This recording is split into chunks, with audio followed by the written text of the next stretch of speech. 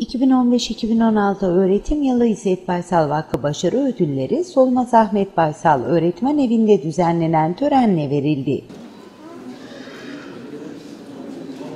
Törende bu yıl 58 lise ve denge okul birincisi İzzet Baysal Vakfı Başkanı Ahmet Baysal ve Vali Aydın Baruş başta olmak üzere ödüllerini protokol üyelerinin elinden aldı. Başarılı olmak tabii ki önemlidir ancak başarıyı takdir etmek daha da önemlidir diye düşünüyorum.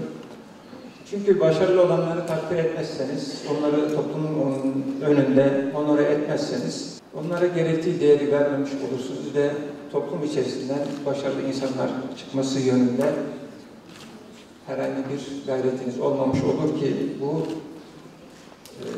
başarılı insanlara verilmesi gereken değeri bilmemek anlamına gelir. Törende İzzet Baysal Vakfı kurucusu Bolu'nun babası İzzet Baysal'ın Can Dündar tarafından hazırlanan İzzet Baba adlı belgeseli de izlendi. Belgeselde İzzet Baysal'ın vefalı kişiliği ve vakfın Bolu'ya bıraktığı 440 milyon liralık eser anlatıldı. Bir ara mektebin hikayesinde babamı görmüş.